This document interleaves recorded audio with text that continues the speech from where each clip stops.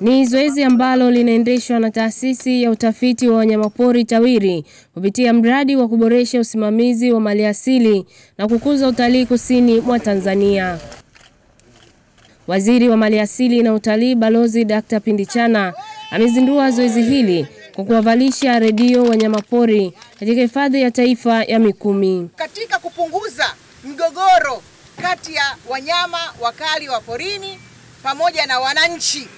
Hii ndio mikakati ambayo tumejiwekea. Tunawavalisha kola tembo na wanyama wengine muhimu kujua wanaendeleaje, ili hatimaye jamii zetu ziwe salama. Huu utakuwa ni mwendelezo wa kuhakikisha kwamba sio teknolojia hii tu, kuna teknolojia nyingine uh, za kuweka ardhini, kuweza kuangalia mishindo ya wanyama wakiwa wanatembea, lakini kuangalia kutumia teknolojia kama drones na kadha wa kadha, kuweza kuhakikisha tu kwanza tuweza kujua wanyama wetu wako wapi, kuweza kuwalinda vizuri kuweza kuwatunza kama ambavyo ndio wajibu wetu sisi kama wizara, lakini vile vile kikubwa kuhakikisha kwamba hawa wanyama pamoja sisi kuwatunza, lakini hawaleti madhara kwa wananchi. Tunachokifanya sisi hapa ni kuhakikisha uhifadhi unaendelea, lakini kwa kutumia sayansi, lakini na maisha ya, ya, ya jamii yanaendelea.